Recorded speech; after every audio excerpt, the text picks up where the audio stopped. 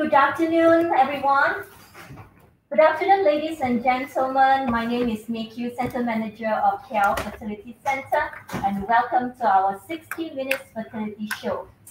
Now, today's segment, we have two very distinguished guests with us with very extensive knowledge in their respective fields. They are none other than our senior fertility specialist, Dr. Paul Tay, and our very own dietitian, Miss Lee Tong.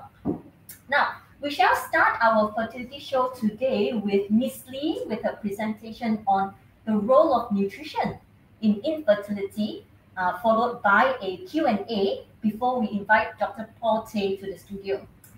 Hui Tong, welcome. Hi. And uh, would you like to say a few words to our viewers? Hi, good afternoon, everyone in front of the screen. Thank you for spending this lovely Saturday with us. So I'm dietitian uh, from KL Fertility Center. I graduated from International Medical University uh, with bachelor in science in nutrition and dietetics. I have a total five years experience in community and hospital setting. So today, um, why I choose this topic today is because I believe that diet is very important in every life stages, including like from babies, childhood, adults, and even elderly, or even before we become an embryo. But many people neglected this. So this is why I'm here to share with you some um, the role of nutrition in affecting your fertility. Okay. Thank you so much for your introduction, uh, Hui Tong. Now, without any more delay, I think we uh, have to apologize. We were like a few minutes late. I'm sorry for that. Now, without any more delay, uh, the audience is yours, Hui-Tong. All right. Thank you so much, Miss Matthew. So approximately 10 to 15% of couples are impacted by uh, fertility. Lifestyle factors play in the development of infertility has generated a considerable amount of interest. So lifestyle factors are modifiable habits and they can greatly influence our overall health and well-being, including fertility. Many lifestyle factors such as nutrition, weight, exercise, stress level, smoking, alcohol consumption, as well as um, the environmental exposures can have substantial effects on fertility. So today we're going to have an overview on the importance of diet and lifestyle in improving fertility. So can nutrition play a role in clients who are struggling with infertility? So let's us see what research has to say on this. So a, the review shows that a dietary pattern which recommends a high consumption of whole grains, unsaturated fats, which is our good fats, vegetables, fruits, and fish has been associated with improved fertility in women and higher semen quality in men. Right? Then similarly, there's other study shows that women who had the highest intake of fertility diet, which uh, comprise of like plant protein, full fat dairy products, iron, the good fats, will have a 66% lower risk of infertility related to ovulatory disorders. Ovulatory disorders means uh, the, like irregular ovulation or not regulating, uh, not ovulating at all okay, and a reduction of 27% of uh, infertility, risk of infertility due to other causes. Furthermore, overweight and obese actually can increase the risk of fertility, infertility, sorry. So most of the studies actually recommend lifestyle intervention as the first line therapy in general population in women and men with obesity and infertility. So egg and sperm are cells like any other in our body. Yet how they are nourished and looked after is often ignored. The maturation of the egg, sperm, endometrium, uh, the woman uh, womb lining, and fetus that depend upon nutrients for development. But if the diet contains uh, like very high trans fat, refined sugars, excessive uh, additive, it can significantly affect individuals' fertility. So let us move into the lifestyle that we can uh, do to improve our fertility? So first, maintaining a healthy weight. If your weight being extreme at either side, either being overweight or underweight, can disrupt your hormone balance, causing ovulation issue as they disrupt your uh, normal menstrual cycle. So sometimes you can see if a person is overweight or underweight, their menses can become irregular, meaning they have the ovulation uh, issue or even they are not ovulating at all. Obesity can also increase the risk of uh, miscarriages, diabetes, hypertension during pregnancy. Another uh, one is that we often ignore men in when we talk about fertility and this uh, IVF treatment. But actually, excessive weight in men can also lead to reduced uh, sperm counts because excessive body fat can cause the scrotum to become warmer. So this affects sperm production. So what we can do instead? Maintaining ideal weight helps to improve fertility. How do we know that whether my weight is suitable for me? So everyone can, it's a very simple calculation. You can just use a, uh, your phone or calculator to calculate. So what we're looking at is your body mass index, meaning whether your weight is, is uh, sorry, yeah, your weight is suitable for your height. So an ideal BMI of um, 12.5 and 22.9 helps with uh, fertility. Okay, so BMI is calculated by your weight. So for example, my weight is 60 kilo. Then I divide by my height in meter. So 60, if my height is uh, 1.7 meter, so I divide 1.7 and divide 1.7 again. So I get a number. So the number that you can see is your weight, uh, weight status. If you are overweight, we are uh, advised you to lose a bit of your weight. We don't expect you to turn you into a model, okay, very skinny that type, but just a 5 to 10% of weight loss can improve fertility. Or vice versa, if you are underweight, it's good for you to gain a bit of weight before you start on any fertility treatment. Move on. So types of carbs can you choose can actually affect your weight and sugar control. There are two types of carbs. First the complex carbohydrates or what we call as slow releasing carbohydrate. Complex carbohydrate is the good carbs because it's minimally processed. It's high in fiber and the nutrients like vitamin B, iron, vitamin E, our antioxidants. Because of the high fiber content, it prevents the spike of sugar level in your body and provides more satiety with lesser calorie. So this is very important, especially for um, PCOS patient because they need to control their sugar level, prevent the spike in sugar, so that um, you to, to control their hormones uh, balance. And also very important for weight management people. So satiety will make them uh, feel full longer so that they don't overeat. Okay? So first example of food sources of complex carbohydrate are brown rice, whole grains, um, bread, oats, beans, legumes, and fresh fruits. So on the other hand, we have the bad one, which is the refined carbs, which is highly processed. All the fiber nutrients has been removed.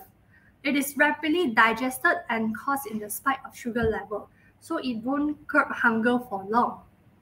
So if you are taking a lot of these refined carbs, it is converted into fats easily and stored as body fats.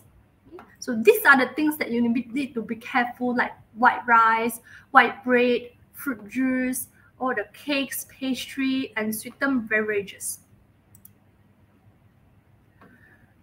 For every meal and snacks, there are always slow releasing carbs option you can choose instead of the rapidly digested one. So for fertility and long-term good health, always go for whole grains. Okay, like um, here you can see there's a better alternative. Instead of taking white rice, you can choose brown rice, right? Whole wheat crackers, cornflakes are actually highly processed. So a healthier option will be like oat bran flakes, right? Instead of sticking, snacking on potato chips, I know when, when you are boring, you just grab something in the um, cupboard and just um, munch on it. Then nuts and seeds is a healthier choice because besides then it's lower in calorie compared to potato chips, it also contains good fats that can improve our egg and sperm quality. Fruit juice, okay, fresh fruits is always the better because fruit juice after you blend it or even cold press, the free sugar release, so it will spike your sugar level. And definitely sugar drinks, sugary drinks is a no-no. Always go for no added sugar tea or coffee or you infuse some lemon inside the water.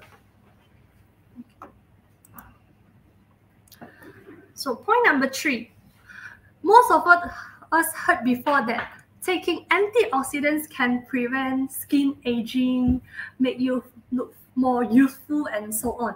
But do you know that antioxidants has protective effect on our egg and sperm as well? Our body Okay, if you have poor diet, high alcohol consumption, smoking, stressful lifestyle, lack of exercise, this can create free radicals. Okay, so these free radicals will cause oxidative stress in the body. It can injure our cells. Okay, this injury induced may cause cell death, abnormality, and motility loss, as well as damage to DNA cause abnormal fertilization, reduce implantation, and also poor embryonic development.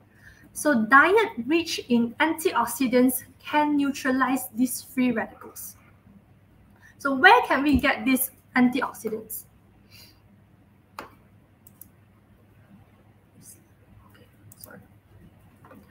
So we always say that try to have five colors a day in our diet. Okay? So when we eat, when we talk about like eating vegetables, we don't just include green left uh, vegetables. Try to include other colors, veggies and fruits in your diet because different colors of vegetables and fruits contains different types of antioxidants. For example, like um, orangey yellow color uh, type of fruits and vegetables will contain like vitamin A, beta carotene, which is also um, types of antioxidants in your body. Okay, so in every meal, try to include different color of vegetables in your diet, right? So if you're cook, because if you eat out, definitely like a la carte noodles, a la carte um, rice, there's not much of uh, vegetables on the plate. You can see just like two, three pieces of cucumber on your chicken rice, okay, like two, uh, two three stalks of uh, bok choy, uh, sam in the noodles. So it's not sufficient. So there's no not enough for antioxidants in your body.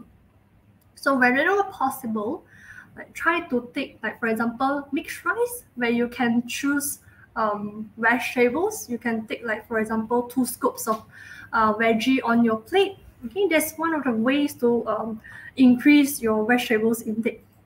Or if you feel like taking something sweet uh, in between your meals, so take fresh fruits instead of drinking like sweetened beverages or enjoying your kueh kueh, which is high in refined sugar. Okay, so these are the steps to include antioxidants in your diet. Not to mention proteins. Proteins contains amino acid. They are essential building blocks for our healthy eggs, sperms, hormones, and antibodies. Proteins is the base. In order to build a strong building, okay, we need a good base. So in protein fruit also is uh, high in zinc. So this zinc has uh, antioxidant properties and is also required for formation of sperm cells and improved sperm motility in men in women, it also plays a role in hormone balance and ovulation.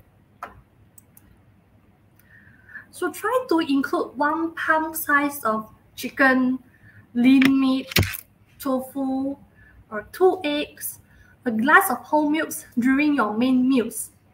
Right? Besides that, there are research showing that diet high in plant-based proteins are shown to improve fertility. So do include some plant-based proteins like beans, uh, red beans, kidney beans, chickpeas, nuts, and seeds as part of a healthy diet. Okay, many people have a um, questions of whether which which type of milk to take, whether full cream milk is better or low fat milk is better because full cream milk is very high in fat. Then they will go for low fat, low fat milk to control their weight.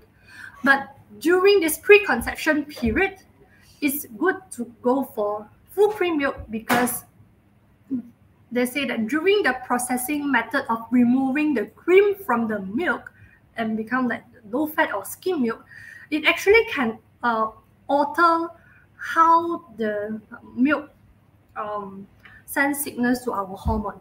So this affect our fertility, right? So moving forward, the point number five, choose the right fats. Fats are one of the source of energy besides the carbohydrate and proteins. It plays a role in our fat-soluble vitamins absorptions and also production of vitamins. However, we need to be careful on the amount of fat that we eat as fats provide double the calorie compared to carbs and proteins. So excessive fats intake lead to weight gain and increase the risk of infertility as mentioned just now. Fats can be divided into two groups, saturated fat and unsaturated fats. So we have the good and the bad as well. So which is the good and the bad fats? So saturated fat and trans fat is the bad one. So we try to limit it in diet. So diet high in saturated fat and trans fat has shown to have poorer fertility outcomes.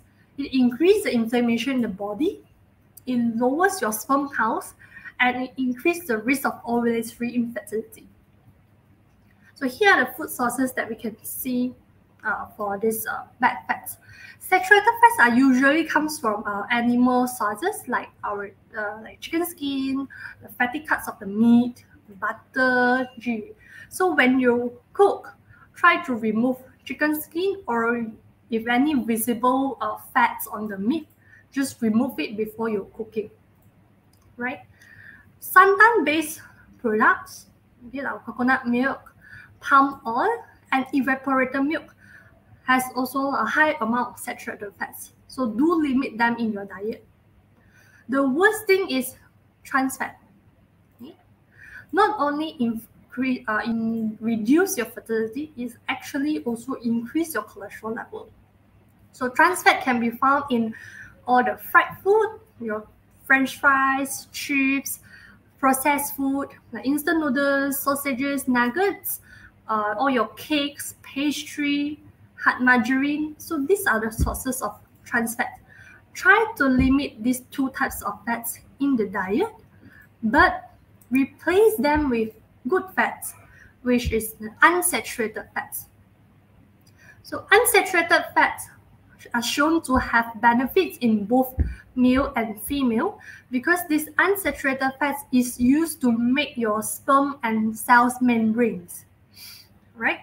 So unsaturated fats, we have PUFA, polyunsaturated fats, and also MUFA, the monounsaturated fats. They mostly come from vegetables oil, like the canola oil, sunflower oil, olive oil, um, nuts and seeds, walnuts, almonds, cashew, which is a good option for your snacks, and as well as deep sea fish, like salmon, mackerel, um, codfish, etc.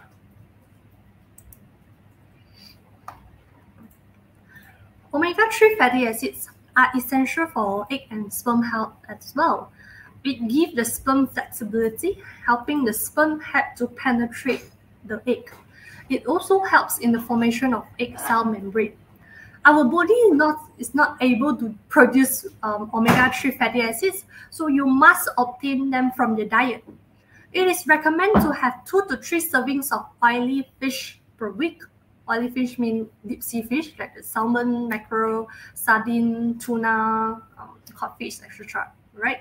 So if you are a vegetarian, you don't take fish, you can obtain omega-3 fatty acids from uh, uh, plant-based food like chia seeds, flaxseed, walnuts, canola, and soy. Right. So last but not least, try to be physically active as much as uh, possible. We all know that exercise helps us to strengthen our hearts, lungs, muscle, and bones. Exercise also helps us to achieve a healthy weight and prevent weight gain.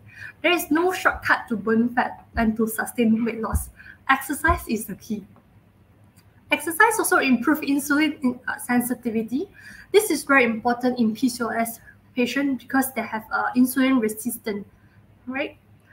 Exercise is a type of uh, stress relievers and it helps to reduce inflammation. Furthermore, good blood circulation boosts the transport of nutrients to the uterus for egg and embryo development. Not to mention, outdoor exercise under the sunlight can help productions of vitamin D. There are more studies uh, coming up saying that vitamin D is very important for embryo implantations, right? So do go out and get your vitamin D under the sunlight. So how often should I exercise? It's recommended to have 150 to 300 minutes of moderate intensity physical activity each week. So this is aerobic exercise where you will feel your heart rate increase, right? Your heart is pumping. So examples are like brisk walking, jogging, cycling, swimming. So not forgetting the other exercise, which is the muscle strengthening exercise, at least two days each week. It's like a weightlifting, sit up, plank, etc. to build your muscle. So busy lives can make it hard to find time for exercise. Incorporating exercise in daily activities increase the chances of achieving the recommended physical activity goals. If you do not have this uh, habit in your uh, daily lifestyle, so try to start from slow. Maybe like during the weekends, starting from 15 minutes and gradually increase be active with your friends and um, family. Having a support group can help you to stay active. Minimize the time you spend uh, of time you spend uh, sitting, like especially in the office, you will just sit in front of the laptop for eight hours besides then going toilet and eating. The rest of the time you will just spend in front of laptop. So try to minimize this uh, sitting time. Try to remind yourself to walk around five minutes uh, every one to two hours okay, to improve your insulin sensitivity. Or if you do not have time to go out and exercise during weekdays you can do some workout during tv times like squat sit up rope skipping Okay.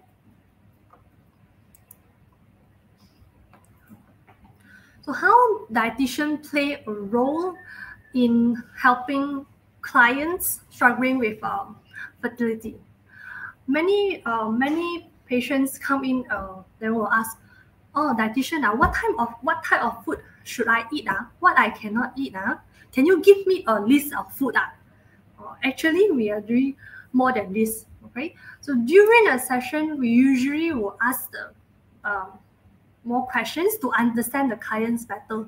For example, we look at their health status, their medical condition, any underlying like diabetes, hypertension, low iron, etc. Any blood test results. Okay, we assess their lifestyle habits. Do they smoke, taking any alcohol, even their sleeping time, uh, their working time, because some uh, shift workers, they have two, three types of different diet based on their shift. Okay, any physical activity. So this kind of information actually helps us to plan a more individualized goal later on. All right. Then we will help you to set a realistic goal to make it achievable. What we call it as a SMART goal. From the goal, then we translate to small steps and small action so that it's more practical and you're able to do it.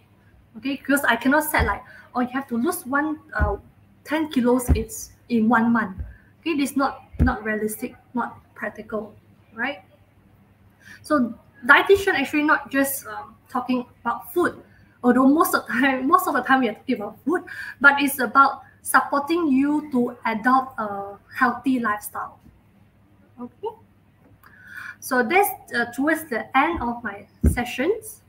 So if you got any question, you can just uh, drop uh, comments in the comment box. Okay, then during the Q&A session, we will answer you accordingly. All right. So thank you so much for your participation. So I'll pass back the uh, session to uh, make you. Okay. Thank you, Hui Tong. I think that one was a very, uh, very knowledge.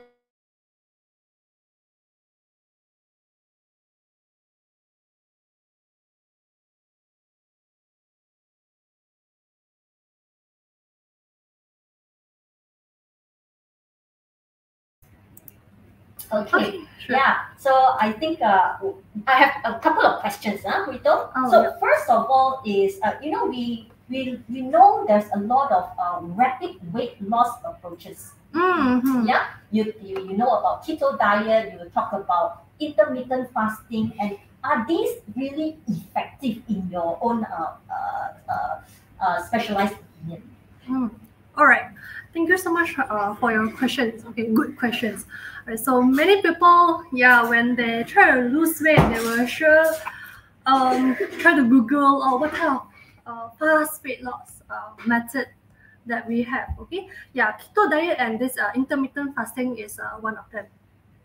So this kind of diet we usually call it as fad diets, F A D, donkey fad diets, which promise quick fix uh, to your weight. Okay, so this kind of diet usually they will remove one of the food group, like for example keto diet, they will remove carbo from the food group, or intermittent fasting, they will set a period of time where you uh there are a few types of intermittent fasting. Like you do um five five days uh fasting, two days cheat day, or they do like uh, eight hours of eating and 16 uh, hours of um, fasting.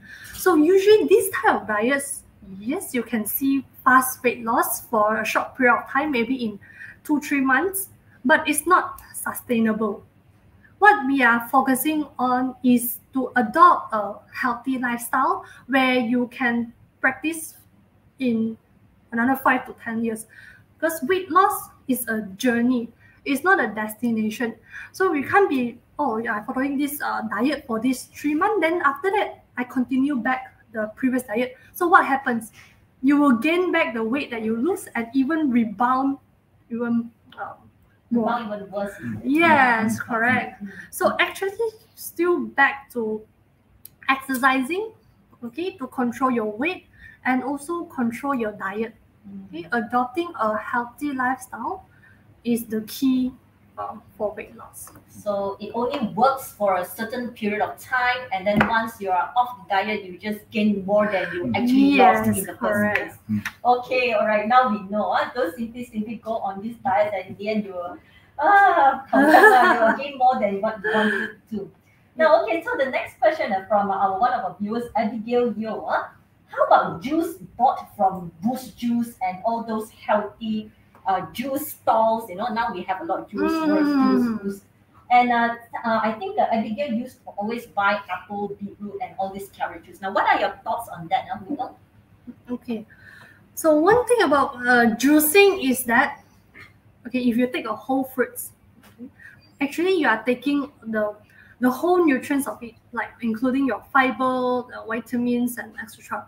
But if you do juicing, the fiber has been destroyed, so there's the free sugar will release, and it causes a spike in your sugar level compared to if you take a whole fruits. Okay, Mm. so if can, try to take fresh fruits instead of uh, fruit juice. Mm.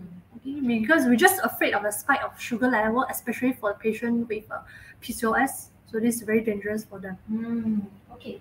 This is the first time I'm seeing this. You see, I'm not a diet fad or, or whatever. Uh. Uh, how about Miss Melanie Wong said, how about rice bran oil?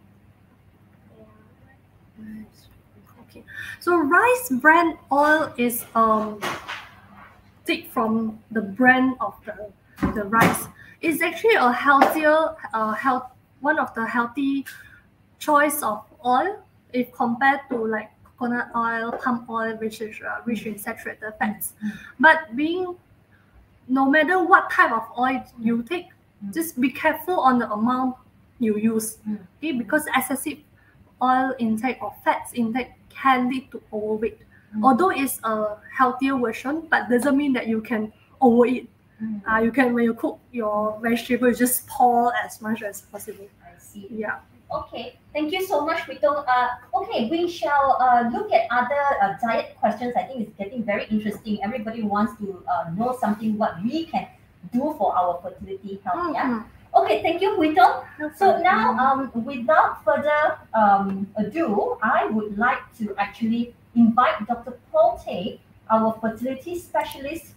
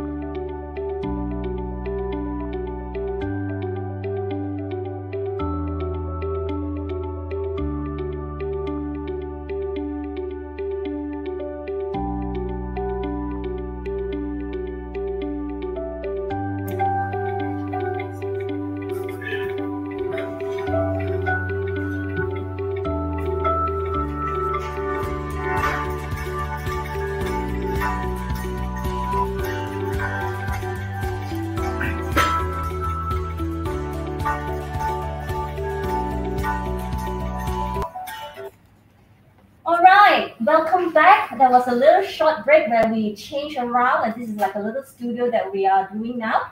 So, uh, welcome back to our 60 Minutes Fertility Show. Now, together now here with me is Dr. Paul Tay Yi Xiang, uh, Senior Fertility Specialist at KL Fertility Center.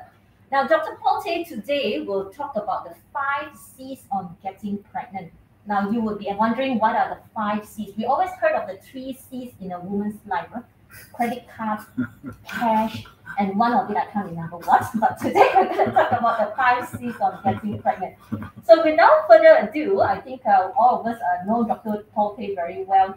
And uh, I will just pass the studio to Dr. Paul now. Yeah? Take it away, Dr. Paul. Okay, thank you. Thank you everyone for attending this webinar this afternoon. Uh, the topic at MyQSay is a five C's on getting pregnant. Actually, it's a five C's for uh, what women want in life. Actually, it's car, credit card, condominium, and uh, yeah, there's one or two more I can't remember. yeah, it's actually correct. uh, okay, uh, so I'm one of the four reproductive specialists in KL Fertility Center. Uh, today, basically, I'm going to talk to you about um, how to prepare yourself, your um, your mind and your body to get pregnant. So with these few simple tips, hopefully you can get pregnant successfully at a shorter uh, period of time. Um, okay, so you may ask, um, how do we come to this 5C? Actually, make you thought of the topic. So she was thinking of uh, uh, this catchy topic, uh, catchy uh, topic for the talk, and we came across these five C's, which happened to be the um, principle for Monash IVF Group. Monash IVF is actually a, an Australian uh, listed company, uh, and they own KL Fertility Center. it specializes in providing uh, uh, fertility treatment for women in Australia, in Malaysia, as well as Indonesia. So they are one of the oldest IVF unit in the world. They have a very good track record. They have high success rate for IVF. And uh, their five C's are care, commitment, communicate, collaborate, and create. So today, I'm going to use their five C's uh, as the basis of my talk. Yeah. So if you are thinking of getting pregnant or starting an IVF, uh, first of all, of course, you have to take care of yourself and your spouse, right? And you have to be committed to the cause. You have to normalize your body weight. You have to stop smoking, reduce alcohol. Um, getting pregnant is actually a very uh, stressful time. Huh? It's even more stressful uh, when you can't get pregnant.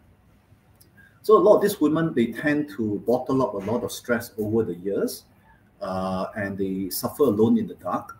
Uh, that's not good. So it's important that you let this emotion out, talk to your husband, get your husband on board, talk to your family. Um, sometimes it is useful to talk to a third party like a counselor uh, to, to, to lend a pair of ears uh, to let out your emotions. And also communicate well uh, with the fertility center that you're going to and your doctor. Okay. Um, and, and, and some women may require help to lose weight. Uh, that's where Hui Tong comes in, a dietitian, a professional dietitian that give you a lot of advice that we have heard uh, over the last 20 minutes. And finally, I'm going to talk to you about different ways of creating a baby using uh, IUI or IVF treatment. Okay. Okay, so how do you take care of yourself? I think Hui Tong has covered most of it. So I, I just want to quickly go through it. it. You can summarize it into three words. You have to eat well, you have to move more, you have to sleep uh, plenty, right? So first of all, when I say eat well, it doesn't necessarily mean you eat a lot of food. In fact, you should eat a moderate amount of high quality food. So as Hui Tong has mentioned just now, uh, you have to increase your fruits and vegetables. No one will argue that that's wrong. Huh? and concentrate on the five colored fruit like red, blue, purple, green, white, orange, and yellow. These fruits contain lots of antioxidants and lots of good minerals, right? The second thing is lots of protein, uh, more meat, more nuts, more uh, beans, and eggs, right? You also need to eat a moderate amount of carbohydrate, especially the complex carbohydrate that give you the source of energy, you have to cut down on your junk food, your processed food, your sugary food, your oily food, and your uh, salty food. Okay. And one thing that's very important is that the water intake. Huh? Uh, 70% of our body weight is made of water. Of course, it plays an important role in our health. Uh, so you try to drink at least a liter and a half of water a day. It is essential, but quite often forgotten. So patient often ask me, I'm healthy, I eat balanced diet, I, uh, I take care of myself, I'm trying for IVF next month. Do I need vitamins? Do I need to take any vitamins? The answer is yes. I think you should. Uh, you should take some uh, this so-called micronutrients for women. Uh, and it has been shown that taking these micronutrients, you can improve your uh, antioxidant uh, defense system it will improve your reproductive environment. Uh, you make your egg and embryo quality better, and it certainly can improve, shorten the time to getting pregnant. Right. So what are the micronutrients? Uh, they are the folic acid, uh, fish oil such as omega-3, uh, coenzyme Q10 is a kind of antioxidant, high doses of vitamin D, Hui Tong has mentioned it just now, yeah, is uh, becoming more and more important. Uh, and we recognize that a lot of uh, men and women are actually low in vitamin D. And finally, some vitamin B6 and B12. I usually recommend patients to take this vitamin individually rather than uh, those all in one combination because those all in one combination often contain too low vitamin D level. So it's better to take it individual than, than all in one, right? Um, so if women are taking vitamins, how about men? Does men needs any vitamins? Uh, the answer is probably they should. Huh? At worst, this vitamin does men no harm. At best, uh, it there's some small studies saying that this vitamin improve the sperm motility and uh, sperm count. Uh, so what are the men vitamin? They are zinc, vitamin E, selenium, arginine, and coenzyme Q10. And uh, for men vitamin, there's a lot of pre-packaged uh, uh, preparation in the market. Uh, there's quite a few of them. You can do your own reading and decide which are the best for you. Uh, okay, exercise. Uh, move more. Huh? When I say exercise, it's nothing complicated, nothing fanciful, something simple, something you can put into your daily life, like walking, uh, climbing stairs. Uh, um, if you have a bit of spare time, you can do some jogging, swimming, or Pilates, right? But but uh, uh, nowadays, there's this uh, our wristwatch has a lot of this um, like a Fitbit function. It records the number of steps you take, the amount of calories you burn. Although they are not super accurate, but it does help to tell you how active you are. And you can also use this wristwatch to set your target and tell yourself how active you want to be. So I, think these uh, uh, gadgets are really great, and I think you should try it out. But um, like everything else in life, uh, moderation is important. Huh? Um, there's some studies saying that if you ex uh, excessively or uh, aggressively exercise too much, you can have a negative impact on your IVF treatment. Okay, so study has shown that in women who exercise more than four hours per week for the last one to nine years, and those who participate in heavy cardiovascular exercise, uh, it is actually bad for your pregnancy outcome.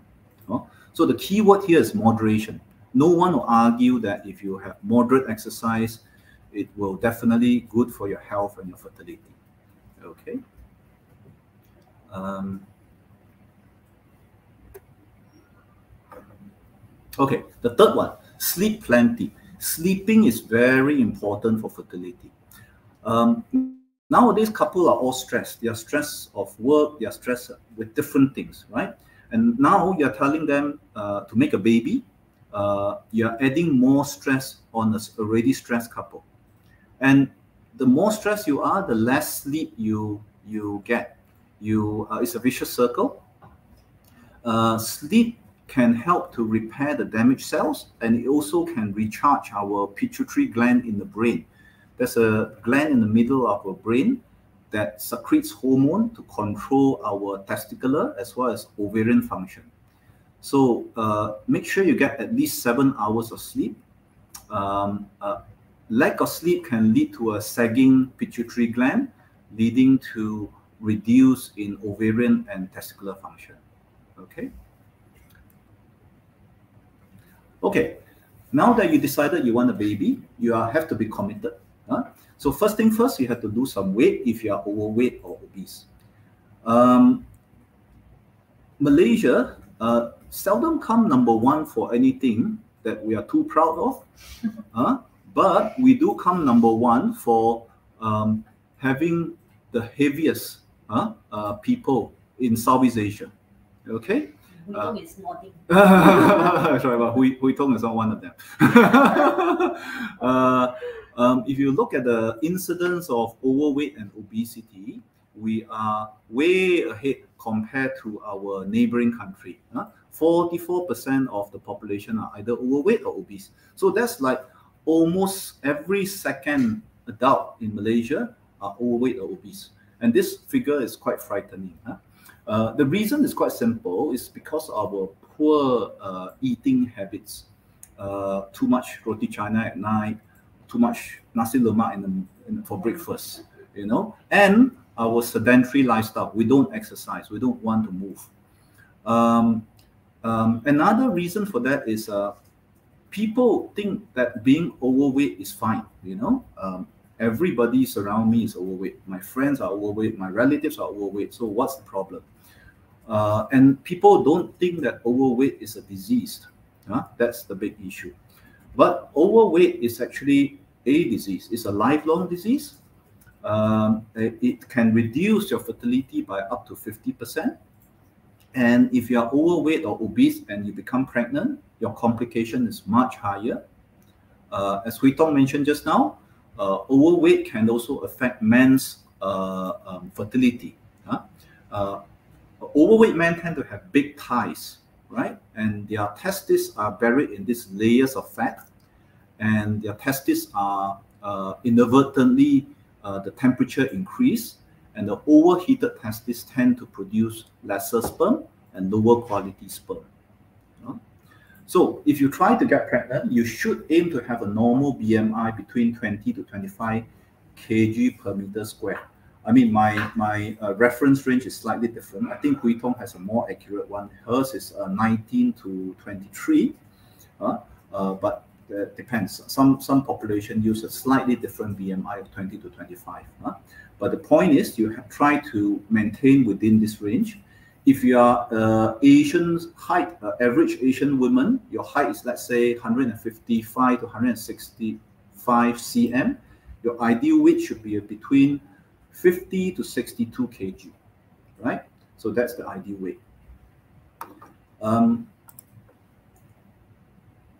okay, um, BMI has this limitation. Although it correlates very well to your body fat, uh, but it's not perfect, right? For example, it doesn't differentiate muscle from fat. And muscle, being a lot heavier than fat, um, uh, does increase the BMI very quickly. So let's say if you're a very muscular person and take Arnold Schwarzenegger, for example, he has an extremely high BMI, but it's actually fine. He's very healthy because look at him, he hardly has any fat, right? The other limitation of BMI is that uh, your uh, it doesn't describe or tell you your fat distribution. No? Um, um, for example, if you have a normal body mass index, but you happen to have a big tummy, uh, for women, the limit is 80 cm. For men, it's about 93 cm. If your abdominal circumference are bigger than that measurement, you actually suffer the same risk of overweight and as well as obesity. All right. So uh, body mass index is not perfect.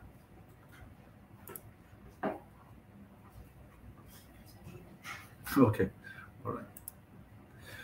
Okay, so if you are overweight or obese and you're undergoing IVF, uh, the you tend to have a lower, uh, lesser favorable outcome. You tend to have a higher chance of cycle cancellation. Uh, you may respond poorly to the ovarian stimulation. The amount of medicine you need is higher, and you tend to yield lesser mature eggs. Okay, and for every unit increase in your BMI, huh, you will see uh, odds of pregnancy reduced by a factor of 0.98. Okay, so for those women who are overweight or obese, uh, please, uh, before you start treatment, take one or two months off to lose weight, even by a few kg, you know, because for every unit of reduction in BMI, your odds of pregnancy increase by a factor of 1.19. So it actually is in your favor. You don't have to bring your uh, BMI to perfect like 24 or 25, but even by losing a few kg does help your outcome. Okay. How about caffeine? I, I saw just now someone asked about the uh, effect of caffeine. Uh, so I just answer it here. Uh, so um, the, the impact of caffeine on pregnancy outcome is actually still a bit inconclusive, but generally felt that uh, you shouldn't drink, consume more than 200 mg of caffeine uh, a day. That's equivalent to one to one and a half cups of uh, brewed coffee, maybe three cups of instant coffee, right? And study has shown that if you drink more than more than five cups of coffee a day, you can reduce your pregnancy rate by 50%. So again, the keyword here is moderation. You don't have to stop it altogether. You just have to limit it. Yeah? But please don't forget that uh, decaf also contains some caffeine, right? Other drinks like hot chocolate, uh, Coca-Cola, uh, green tea, uh, energy drinks, they all contain some degree of caffeine. So try not to mix them too much.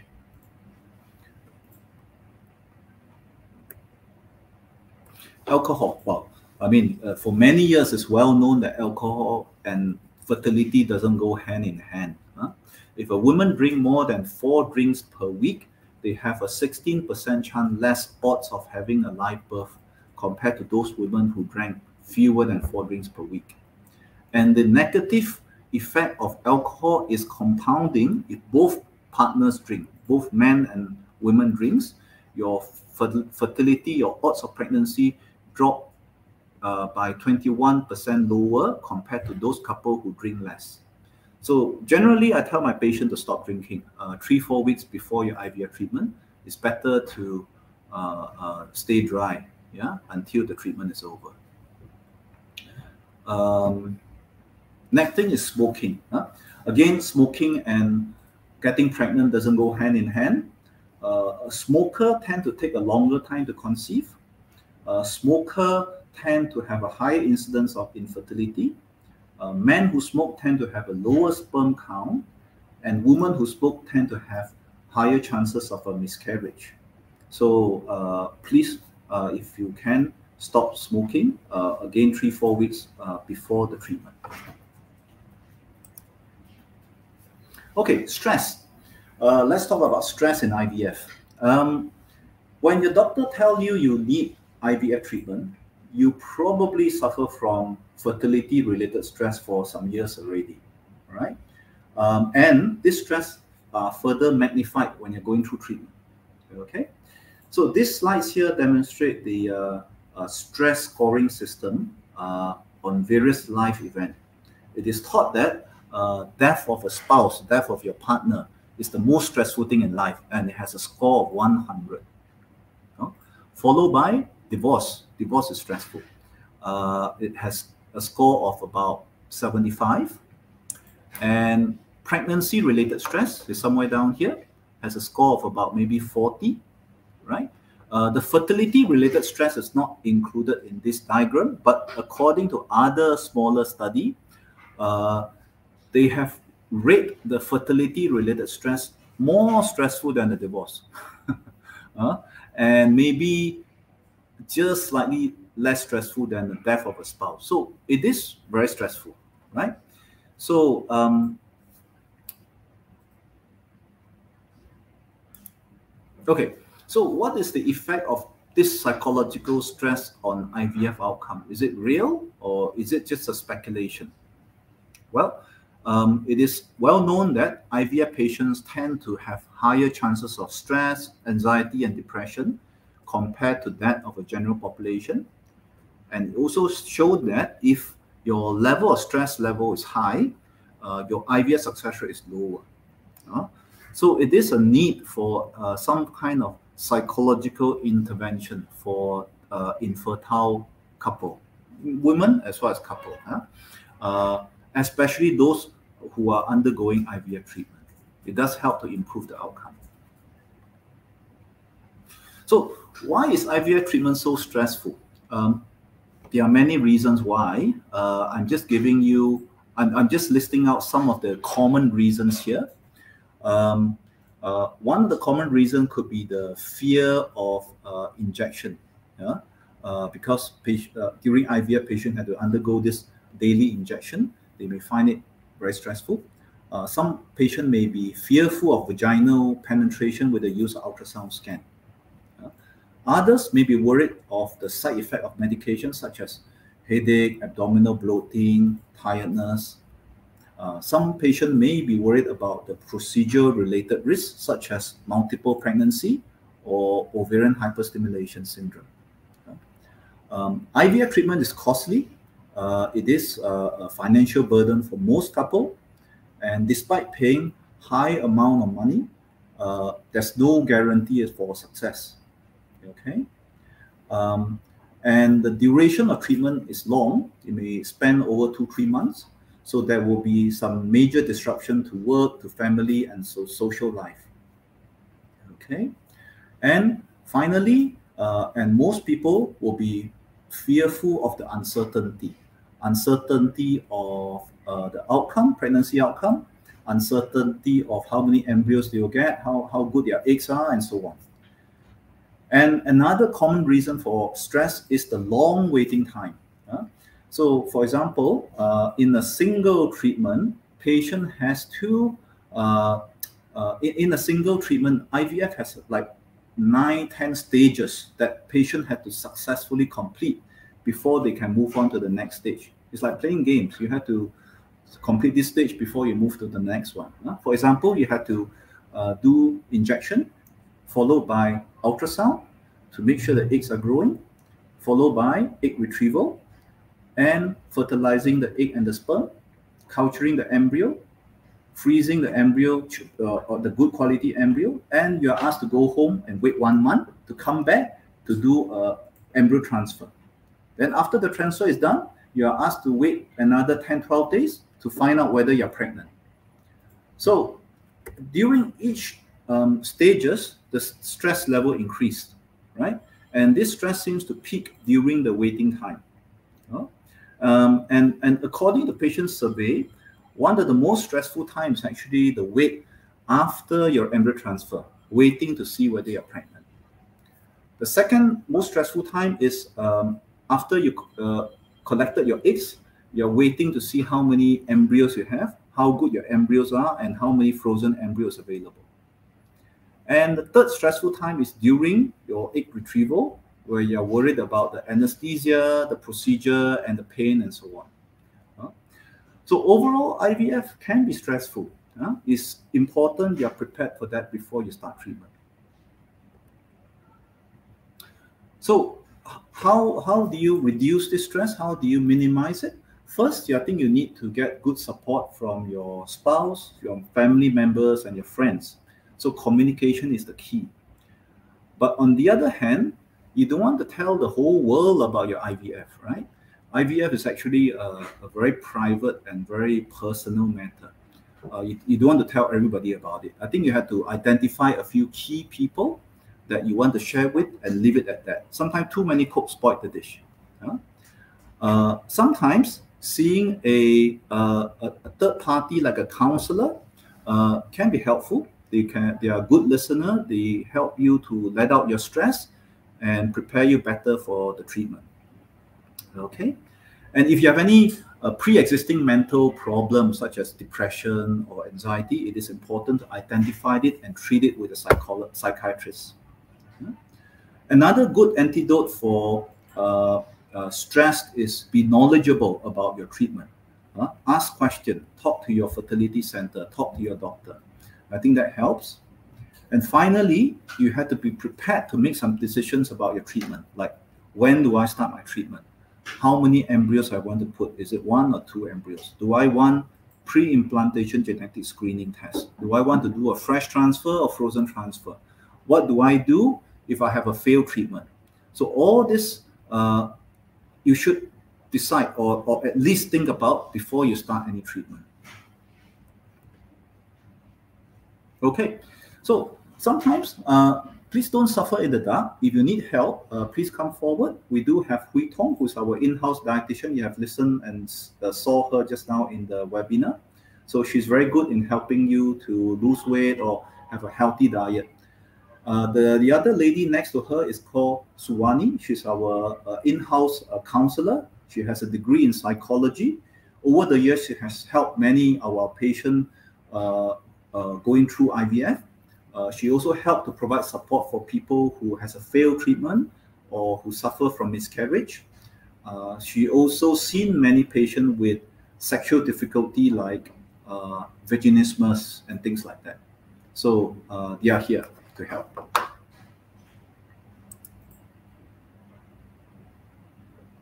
Okay, so Finally, I'm going to talk about how to create a baby using this uh, assisted reproductive technology or ART. If you've been married for three to five years, you have modified your lifestyle, uh, you have taken fertility pill, you have tried herbs, nothing works, you can't think of anything else, it is time to do some treatment, all right?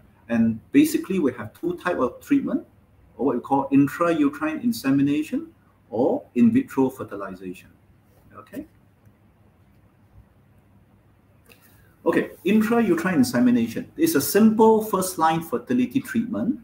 Women are usually given some medication to stimulate their ovaries to produce one to two eggs. And at the time of ovulation, the partner sperm are washed, concentrated into a small bolus, and inseminate into the uterine cavity. Right? The success rate for IUI is not very, very high. It's about 10 to 15%. So one may need to repeat the treatment cycle several times to get pregnant. Okay. So what governs the success rate for IUI? Well, two most important factors. The first one is women's age. The younger you are, the better. Uh, if you are 21 to 25 years old, IUI give you a success rate around 25%. If you are 40 years old and above, uh, the success rate is in the region of 6% only. The second factor that governs success rate is the type of infertility. Um, IUI work best for women with no ovulation or with unexplained infertility. It doesn't work well for women with blocked tubes, uh, with endometriosis, or with severe male factor infertility. Uh, the success rate is rather quite low. Another question patient asks is, how often do I have to do IVF, how many times of IVF do I have to go through to get pregnant? The, the answer lies here. We have to look at the cumulative pregnancy rates. Assuming today we have 100 patients going through IVF treatment, upon completion of treatment, 10 patients will conceive. Okay, the remaining uh, patient will continue with the second treatment, third treatment, fourth treatment until the sixth treatment, right? So there are a few important points we can see from this graph. First, um, every time you do an IUI, you have about 10 to 11% chance of conceiving. After you completed four cycles, your cumulative pregnancy rate goes up to about 38%. That's not too bad. That's quite good.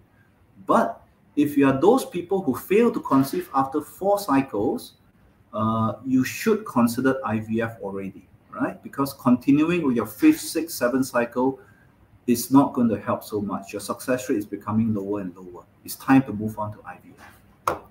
Okay. Okay, let's talk about IVF. Uh, IVF is stand for in vitro fertilization. In vitro means in the lab. So in vitro fertilization means fertilizing the egg and sperm in the lab, a process that normally happen in women's body. Okay, so as I mentioned earlier, IVF is uh, made of a series of about nine to 10 steps, and patient has to complete each step before they can move on to the next one. Uh, so the first step, and perhaps the most important step, is to create lots of eggs. Um, usually women produce one egg every month, but to increase success rate, we want the women to produce maybe 12 to 15 eggs. Yeah, and that's done by giving them this hormonal stimulation, uh, daily injection onto the abdomen, starting from the second day of period for the duration of about 10 days. It is a simple uh, injection, just done on the abdomen, and most of my patients do it themselves at home. Then they have to come for ovarian scanning to make sure that the ovaries are responding to the medication. When the eggs are matured, uh, we will do a thing called oocyte retrieval or egg pickup by putting a needle into the ovary and retrieve all the eggs out into test tubes. This is a painless procedure because sedations will be given to patients. Right? On that day, uh, the eggs and sperm are mixed together uh, to ensure fertilization take place. Uh, after that, the embryo will be developed for about five to seven days, and the embryologist will pick out the best quality embryo for transfer into the uterus. And patient had to wait approximately 12 days to find out whether they are pregnant or not. Okay, so this is the process. Okay, this is how an egg looks like uh, when it's first retrieved from the ovary. It's usually covered in a, a, fur coat called the cumulus mass. The dot in the middle here is an egg. After you strip the coat off, you get a naked egg like so. This is a nice looking egg, what we call metaphase 2 eggs. It has no nucleus. It has a smooth cytoplasm. It has a, a polar body on the side here. So this sort of eggs will give you uh, good fertilization and good pregnancy rates. But like most things in life, sometimes you get good eggs, sometimes you get bad eggs. Uh, the bad eggs are called germinal vesicles or metaphase 1 eggs. Germinal vesicles eggs are those eggs who are arrested at meiosis stage. They still have a nucleus. Yeah. Metaphase 1 egg is slightly better. They have completed the meiosis. The nucleus has disappeared, but there's no extrusion of polar body. Yeah. So these sort of eggs are not usable. They are not fertilizable. Yeah? It has to be thrown away. The third type of egg is the ugly looking eggs. So we have the good, the bad, the ugly, right? So the, the ugly eggs are the usable eggs. They are matured, they are metaphase 2 eggs, but they have some not so nice features to it. Yeah? So for example, their, their cytoplasm has some granular tissue. They have some vacuoles in their cytoplasm. They have a smooth endoplasmic reticulum. So these sort of features doesn't make the eggs so beautiful. Huh? Uh, but they do fertilize, but their fertilization rate tend to be lower and they tend to have a lower pregnancy rate. Okay. Okay, there are two ways of uh, fertilizing eggs. First way is what we call the uh, classic IVF. So we put a, a, drop of sperm, which contain about 100,000 sperm, with a single egg into a petri dish, right? So this thousand of sperm basically will chip away on the outer shell of an egg. Uh, they use their head and they try to penetrate the sperm. After about 18 to 22 hours, one sperm will enter the egg and fuse with it and become an embryo. Uh, this is fine, except in about 5 to 15% of cases, we found that all the eggs don't fertilize. Uh, sometimes it just happens. We, we can't explain it. Uh, and this is what we call failed fertilization. And it is very devastating for patient to find out that their treatment suddenly come to a stop because uh, there's no embryos. Uh, so to avoid this from happening, we nowadays do this thing called intracytoplasmic sperm injection. We inject the sperm into the eggs directly. Ah, okay. So intracytoplasmic sperm injection, or ICSI in short, is a highly skilled procedure. The embryologist has to be well trained for this kind of procedure. First of all, they have to identify a healthy motile sperm, and they try to load the sperm into the pipette as shown here. Uh, it's not as easy as it seems. It's quite a difficult job. How do I forward? Ah, this one. This one is next. Okay, sorry. Uh, I'll start again.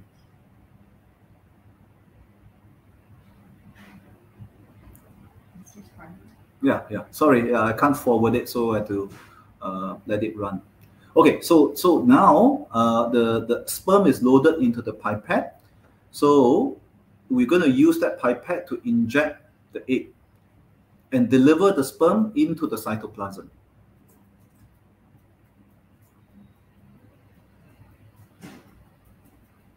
We are trying to support the egg so that it won't run away. So then the needle will come and uh, the injection will begin. You see how elastic the, the egg is? Uh, you can feel a little bit of resistance when the uh, needle is going through the egg. So this is actually a very good egg. Elastic egg is actually good. And the sperm is delivered into the cytoplasm. Okay. Uh, it is a difficult procedure to do. It's a, like putting a needle into a balloon without bursting the balloon. In good hands and well-trained hands, the fertilization rate of ICSI is much higher compared to a classic IVF. That's it, done. So after fertilization, the next day, uh, the embryologist will check the embryo for uh, uh, embryos formation. Huh? At day one, you can see this is what we call the two pronuclei, one nucleus from the father, one nucleus from the mother, and two polar body are extruded. So these are proper embryo form. And you let them grow to four cells, eight cells, morula, blastocyst, advanced blastocyst. So the job of the embryologist is to culture this embryo and identify which are the best quality embryo for transfer, for transferring back into the uterus. So, uh, um, so after the embryo is identified, we usually load up the catheter, a very fine catheter, load the two embryos into the catheter, and the embryo is placed into the woman's uterus. Uh, they have to wait two weeks to find out whether the treatment is successful. So what are the pros and cons of IVF? Uh, as I said, it is a highly uh, successful treatment. It has a much higher success rate compared to IUI. It can circumvent many medical conditions such as blocked tubes, uh, low sperm count, poor ovarian reserve, endometriosis, PCOS, and so on. Uh, it also allows us to do um, a test called pre-implantation genetic screening to rule out any chromosomal abnormality of the embryos. Uh, for some women who doesn't want to get pregnant yet, it can also allow us to freeze the eggs for them to be pregnant in the later date. Yeah. The downside of IVF is that it is expensive with no guarantee of success. Yeah. Uh, as I mentioned earlier, uh, the treatment requires daily injection. Uh, the treatment duration is long. It may take up to two to three months it is psychologically stressful and patient may have a small risk of complications such as ovarian hyperstimulation syndrome or multiple birth. Okay, before I finish off, I just want to show or share our success rate for KL Fertility Center in 2020. Uh, there's no big secret that the older you are, the lower your success rate. So if you are in the age range of less than 30 years old, about three quarter of uh, women who have embryo transfer will get pregnant. Uh, um, um, the purple color column is indicate uh, positive pregnancy rates per embryo transfer. Uh, that means that you get your positive pregnancy, urine positive pregnancy 12 days from the time you do embryo transfer, right? Uh, the green bar is the clinical pregnancy rate. Um, that is defined as visualizing the fetal heart at eight weeks gestation, right? So the clinical pregnancy rate tend to be lower than positive pregnancy rate because of miscarriage. Some people, they get pregnant, but they miscarry at six, seven, eight weeks. Huh? So that sometimes can be unavoidable. So that's why you see there's a drop uh, between the uh, uh, the purple bar and the green bar okay but in any case if you are less than 30 years old you should have approximately three three quarter of patients should get pregnant but the success rate drops and if you are 40 to 44 years old your chances of getting pregnant is slightly below 50% and the clinical pregnancy rate dropped to about 39%. This is our in-house success rates. So, um, so from this graph, uh, if you are a patient who are less than 35 years old, um, you still have time. Yeah, uh, you can try natural conception for another six months or one year. Failing that, then you come for IVF. The IVF should be straightforward. You should have plenty of eggs. You should have uh, enough embryos for freezing, uh, which can maybe uh, give you second or third chance of treatment. Your success rate is high. If you belong to this group, 35 to 39 years old, you shouldn't waste time uh, you should consider IVF as soon as possible. Um, you may get maybe two to four frozen embryo, maybe enough for one to two treatment. Your success rate is 50-50. Um, and time perhaps not so much on your side. If you're 40 and above, uh, don't waste time. You should do IVF as soon as possible if financially, if you find it financially affordable. Um, you may need two or three IVF cycles because you tend to suffer from low ovarian reserve. You may not have enough eggs, uh, even for one cycle sometimes. So you may have to do IVF several times. to accumulate enough embryos for transfer. Um, success rate is less than 50%. You have a higher chance of miscarriage. Um, you should consider a thing called pre-implantation genetic screening test as well. Yeah, this is my advice. And finally, uh, this last slide is the take-home message. Uh, so as I said, you should eat well, move more, sleep plenty. Um, as Hui Tong said just now, you don't change your lifestyle just for one month. You have to do it consistently for many years. Not only will help your fertility, it also will improve your health. Um, adequate stress management before IVF treatment is important. And proceed with your IVF treatment when you're still young. Don't come too late don't come too old. So thank you very much and all the best in your fertility journey. Okay, uh, that was really, really good, Dr. Paul. I thought I had chosen a really difficult difficult title for you, but you actually delivered it very well. And there you have it, ladies and gentlemen. Two presentations today from uh, Miss Lee Hui Tong, the role of nutrition in infertility, as well as the five C's on getting pregnant. So, sorry, yeah.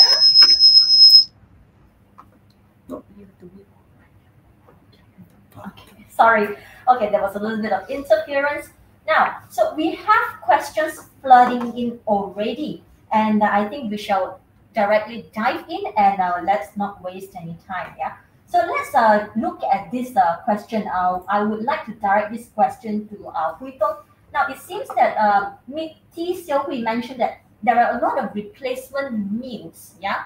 Uh, is this a good way for diet?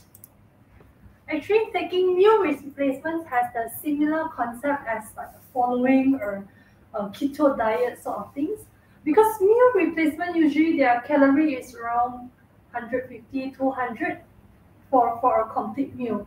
So it uses this concept to lower down your total energy intake in a day, meaning to create an energy deficit so that you can lose weight. But the same thing is whether you can sustain taking meal replacement for your whole of your life. Once you stop it and go back to your nasi lemak, roti canai, yeah, it's the same thing. You will go back to the your normal weight, okay, your previous weight. So what you need to focus is probably like cutting down your current food portion or controlling the food that are high fat, high sugar to reduce your overall total calorie. Mm, okay. So is there a uh, a healthier version to our roti canai and nasi lemak because I don't think any of us Malaysians would be able to Yes. depart with uh, you know our national pride. Uh, food. yeah. Of course, occasionally, if you want to enjoy your lemak and roti canai, it's not an issue. Or, for example, nasi lemak, you can choose a healthier option like um, chapati or thosai, which is lower in fat. Mm. Or if you want roti canai, uh, probably like instead of taking like curry banjir, you can choose dal. Mm. These are plant-based proteins that is uh, healthier compared to curry. Hmm. Or when you take nasi lemak, uh, if you really want to add in your fried chicken sort of thing, try to remove your skin Oh of the no! chicken. oh no! Ah. I fail in everything. Do it on a cheat day. okay. Uh, coming to that, uh, cheat day, Dr. Paul, I think you have a very good point. So, uh, we know. What are your thoughts on cheat day? Huh? the cheat day, people normally binge. yeah, exactly. The, the key is you, although or on a cheat day, you can enjoy your cakes, dessert, or whatever, but not a large amount. In moderation is always the key. You can have a piece of cake, or maybe with sharing with your friends. Okay, share is caring. Sharing is caring, right? Yeah. So that's the thing that you can do. Always consciously remind yourself that even though you're on a cheat day, just be careful of what you're eating. Control the portion size. Mm, okay. Thank you very much, Rito. Uh, we have the next question. This one is a bit more of a, a medical side. Yeah, this is for Dr. Paul. Mm. How about DHA? Yeah? For low AMH, I feel my face and hair is very oily after I take it for two months. So shall should uh, Abigail lower down the DHA uh, dosage? I think she meant the DHEA, right? DHEA is actually given, it's a hormone given to patient with a low ovarian response. There's some studies saying that if uh, you have a low egg reserve in your ovary, uh, um, you DHEA is supposed to help to improve that in terms of the number and the quality. Uh, but yes, you do get some side effects like uh, a oily face, sometimes a bit acne, and so on. Um, actually you only need to take it about two months beforehand and then you go for your ivf you don't you're not supposed to take it long term or, for life uh, so so uh, yes but but hopefully the side effects not too bad you, you just bear with it and quickly go for your ivf after that mm. Mm, okay all right so oh, for this um, question, uh, well, uh, this question came in and say that for hypothalamic amenorrhea, mm. is there any diet or supplements to help? Maybe Dr. Paul or Hui can mm. You want to talk about the dietary side first?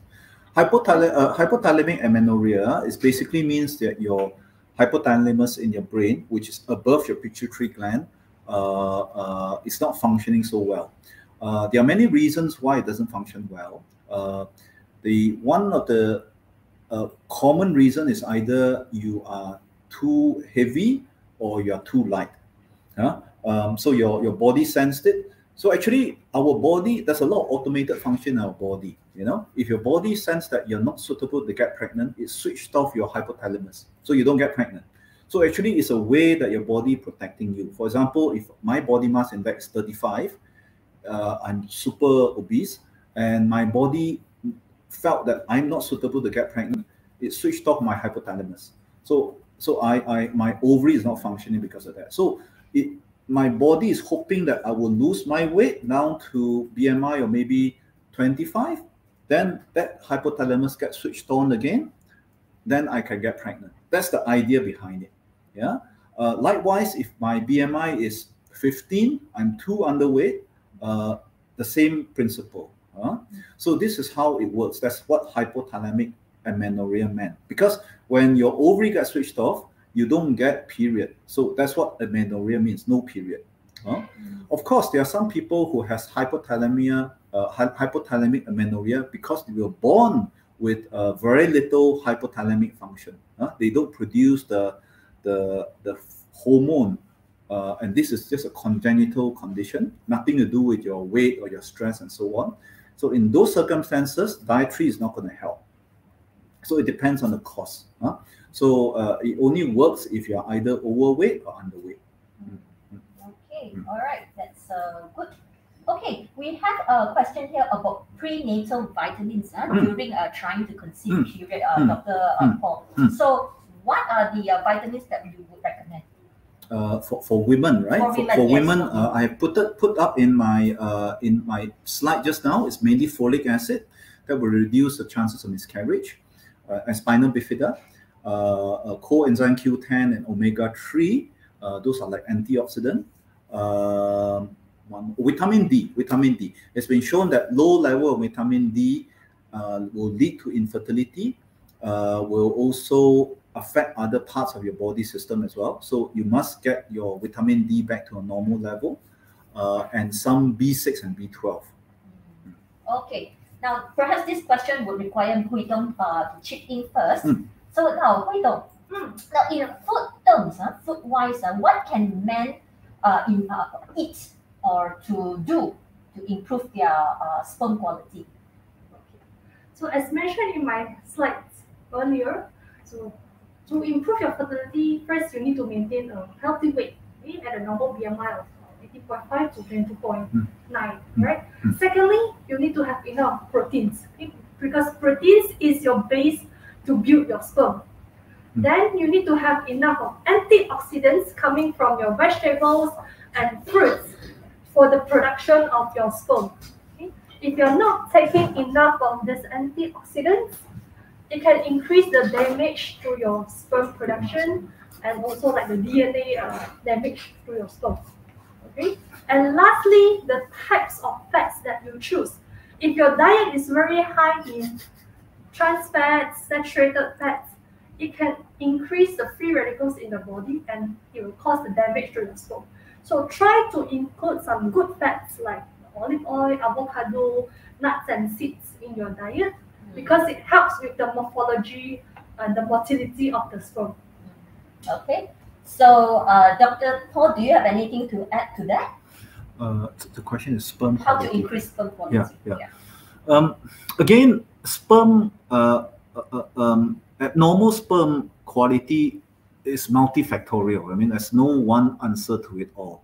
Uh, and the approach is again multifactorial. So, of course, dietary is important. Uh, your lifestyle, your sleep, um, your uh, and and uh, avoid type jeans, Just try to avoid overheating your testes is important after you've done all that, um, it helped to a certain degree, but it may not be the whole answer. I have a lot of men coming and get very disappointed after six months and say, Look, I've done everything you tell me, my sperm is still bad. Well, you know, I mean, as I said, it's a multifactorial thing, you know. Uh, uh, it's never wrong to follow all this, like what Hui Tong said, not only for your sperm, also for your health, for your general health, especially those men who are overweight or obese. So I, I tell them, look, I mean, although it may not help your sperm or your wife may not be pregnant yet, but it does improve your overall health. Huh? So just don't look at your sperm alone. You have to look at overall the holistic thing. So um, yeah, so so I think the, the, the approach is is uh, is good, but it doesn't guarantee that your sperm will be hunky dory tomorrow. You know, so, sometimes it's multifactorial. It's, it may be the way you were born. We're just trying to optimize things. Uh-huh. This is a very interesting question. I- I'm, I'm sorry, but this question I think that came from um, or, or Chinese. okay. Uh, all right. So um, uh, uh, alcohol. No, uh, we talk about wine. Mm. Yeah, there's always a controversy about whether red wine is better or Mm. white wine is better. And when you when you drink red wine, it's always with red meat. Mhm. Yes, that's right. So in terms of diet and nutrition, Vito, I think you're the best person Yeah. to answer this. I'd huh? like to know the answer Yeah. too. So red wine or white wine? Okay. Actually, regarding like whatever wine, the main issue is still in moderation. Like what, like what Dr. Paul mentioned just now, you have to reduce the consumption of alcohol. Mm. So for men, we only limit to two units of uh, alcohol uh, a day. For women, it's one unit. So one unit means uh, one can of beer, or if red wine or white wine will be the half glasses. If it's liquor, one unit equals to one shot. Mm. Okay, so there's no good or bad. The thing is, whatever uh, you drink, you have to take within the limit. So there's no uh, whether this is better or that is better. Yeah. Yeah. All right, we can definitely close that myth today. Yeah, so everything in moderation, politically correct. okay, now uh, another question. I think I, I would find this very interesting. You know, uh, we have Guinness Stout, ha, ah, ah, Guinness Stout. It promotes apparently. Um, uh, I read that it can reduce blood clots and also the risk of heart attack. I think this question is uh, better for Dr. Paul, perhaps, to answer that. Wow. Um, Mm. I'm not sure. It could be a, a marketing gimmick. Uh, it's a bit like Milo, you know. Uh, they said it was supposed to make you strong and make you grow fast and all the rest of it. But at the end, they have so much sugar content that it's actually bad for your health. So, I mean, uh, I, I I don't know. I mean, a lot of this um, uh, uh, marketing gimmick or their slogan for their product.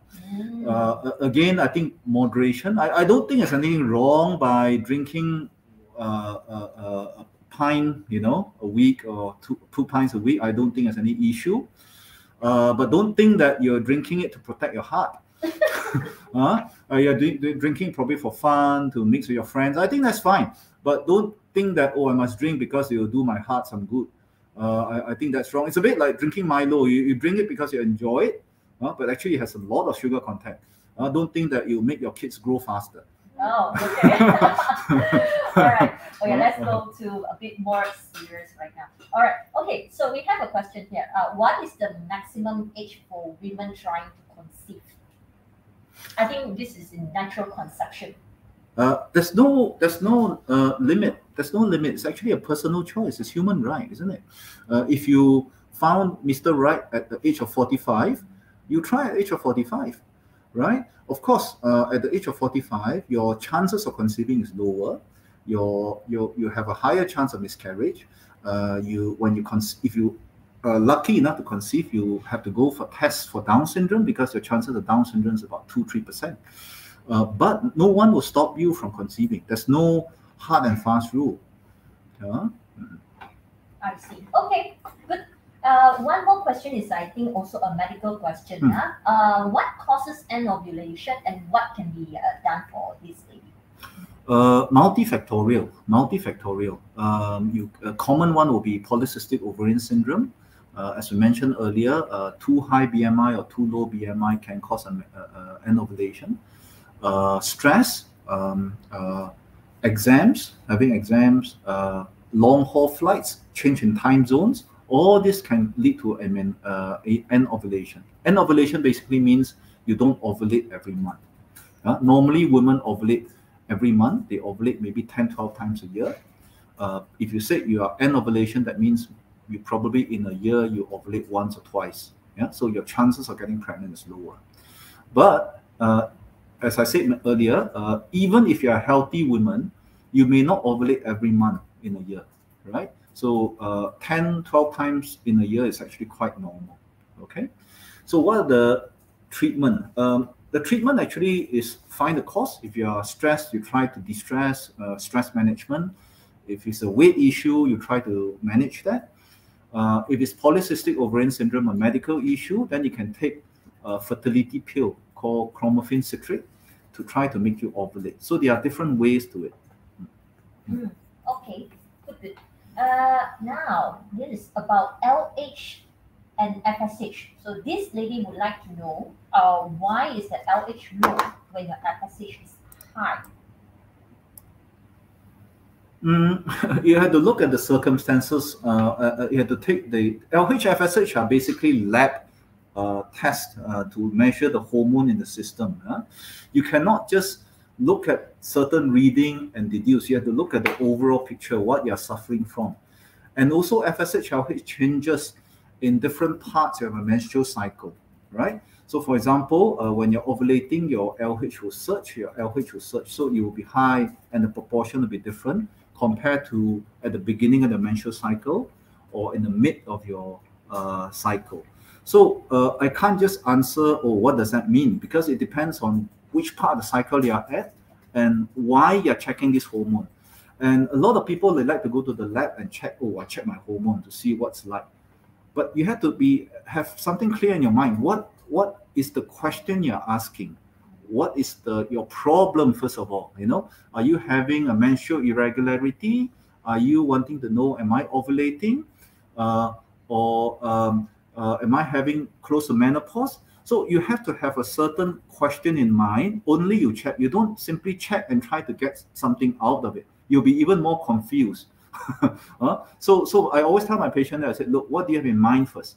Then I will tell you what's the best hormone to check. Uh, because not all condition needs a hormonal check. And a lot of people they try to do a little bit of Google doctor, and they make themselves even more confused. Oh, okay, all right. so don't go on Google so much. Okay? you come and listen to our webinar. and listen to- okay. So, um, Miss Cheryl Kaur, it says that uh, skincare products uh, does it affect fertility? I suppose it's the ingredients and the chemicals that penetrates through the skin. Uh?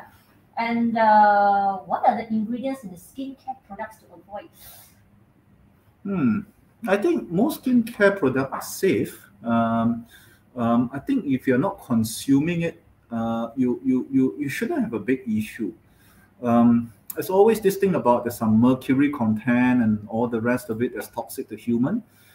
Um, I think I think if you're applying on your skin, that shouldn't be a big issue, you know. Uh, and the amount of uh, even there's I, I- mean, I'm not saying there's mercury there, but even if there's a small amount of mercury, the amount they absorb through the skin, I think will be very, very small.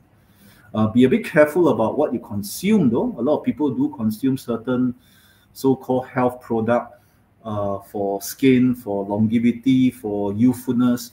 Uh, I think you be a bit careful with those. But for your skincare, I think it should be fine. Mm. Okay, skincare, fine. All right.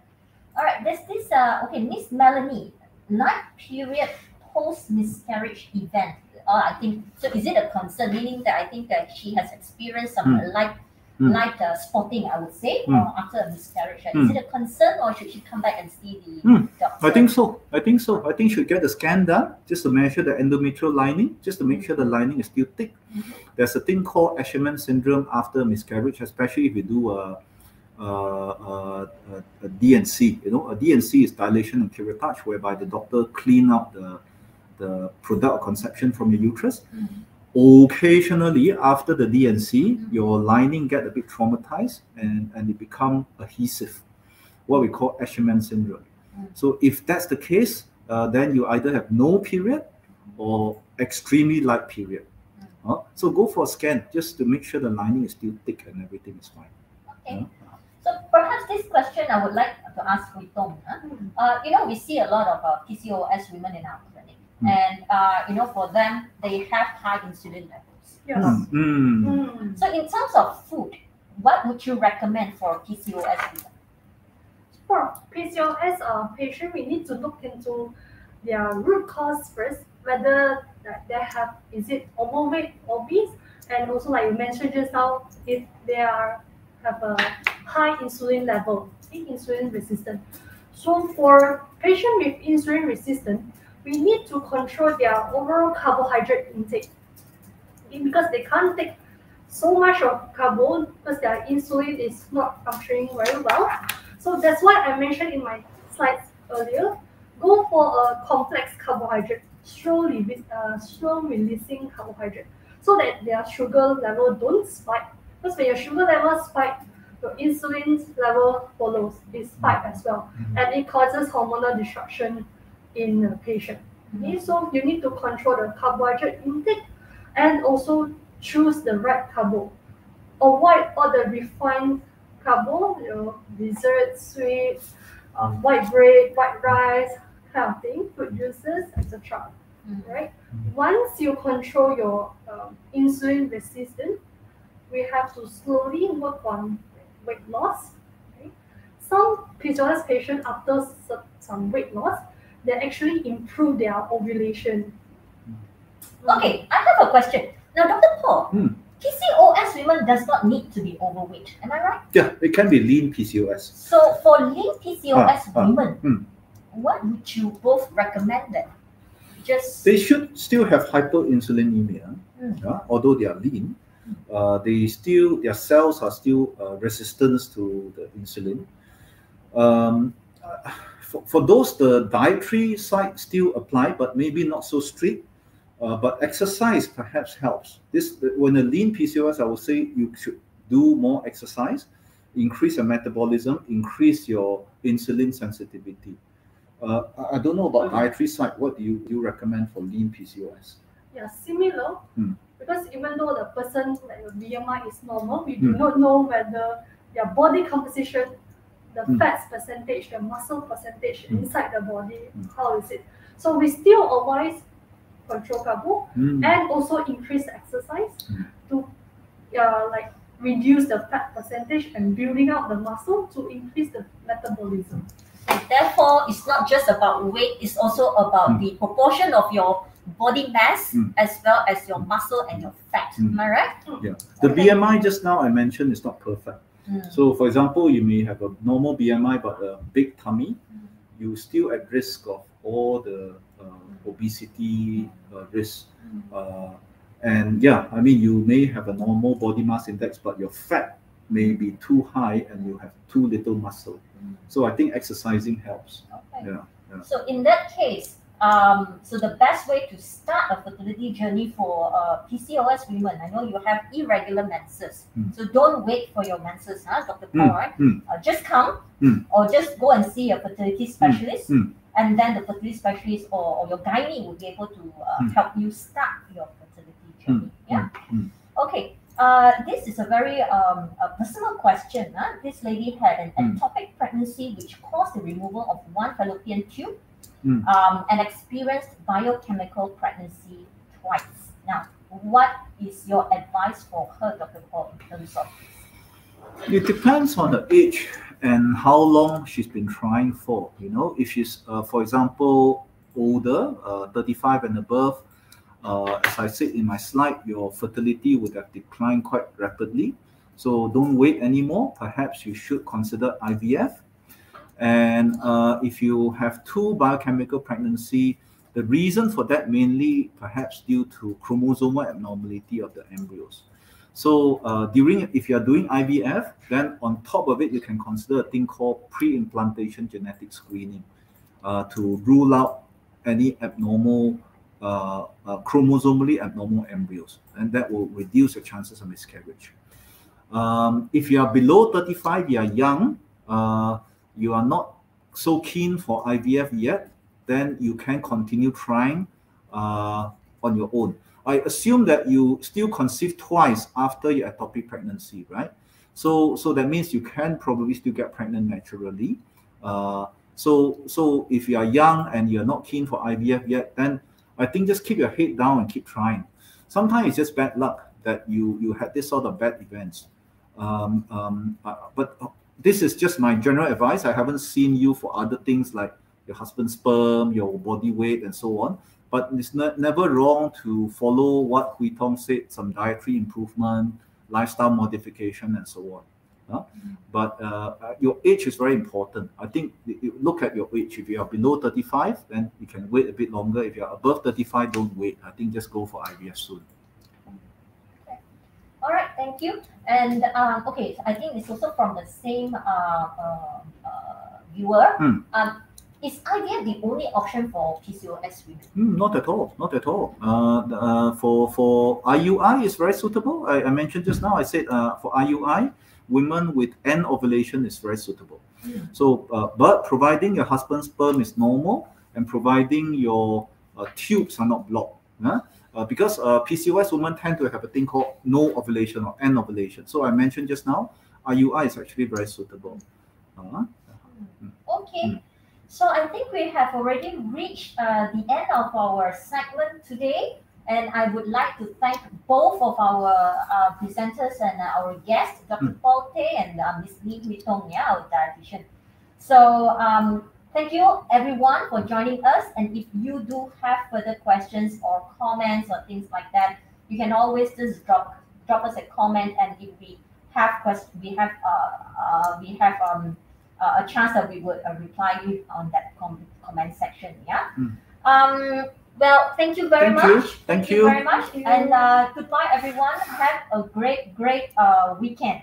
Uh. Don't go anywhere. Huh? Still, COVID cases very high. Okay. Okay. See. Bye bye. Bye. See you.